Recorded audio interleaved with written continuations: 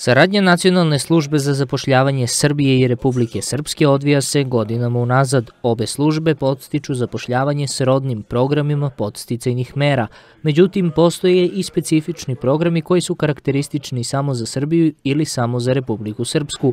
O njima je bilo reči na redovnom godišnjem sastanku predstavnika Nacionalne službe Srbije i Republike Srpske u Nišu. Naši programi fokusirali na, na ciljne kategorije koje su proizašle iz iz rata. Dakle, cilj nam je da ta, vojnike koji su učestvovali u ratu, a zbog tih okolnosti su ostali bez posla, riješimo kroz, odnosno zaposlimo kroz programe zapošljavanja.